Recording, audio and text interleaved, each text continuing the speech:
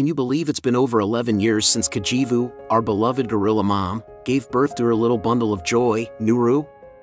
That's right, on December 22, 2012, this amazing gorilla family welcomed their fourth member.